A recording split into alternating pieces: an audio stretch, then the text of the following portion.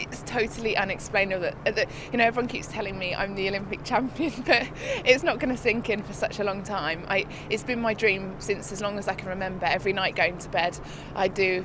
Um, I slide down the track and practice and go through it and, and visualise my dream. But I wouldn't visualise winning. I'd visualise the process. So coming through the finish line after the fourth run and seeing that number one, it was just, oh my gosh absolutely no pressure. When I compete, I don't feel the pressure. There's so many things that I've got to focus on, whether it's the sled, uh, my equipment, you know, I've got to make sure I'm wearing all the right things, make sure I've got my race bib on and my helmet and everything. So um, there's just no time for pressure. I have such high expectations of myself as an athlete as well. No one else could put expectation um, on me that's that's greater than my own. I wish I knew what made me so fast down the track, but I think it's a combination of so many things.